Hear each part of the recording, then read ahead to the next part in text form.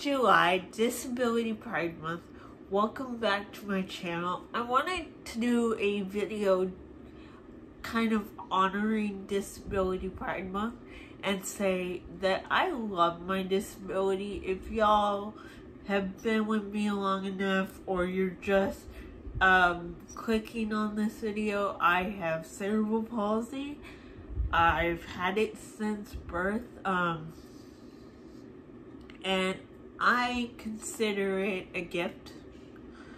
I consider it my gift to help people with or without disabilities. I want to bring awareness to cerebral palsy and I really, for me, it's fun. I know other people might feel differently, but I have a great time with my life.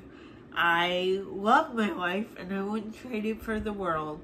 So I hope everyone will look at their disability and be proud of it. Rock it, own it. Don't let anybody tell you different. And if you have cerebral palsy, know that you are a badass. We will get through. Any disabled person is a badass, no matter what. But be proud of your disability. Don't let it get you down. And always, always be proud.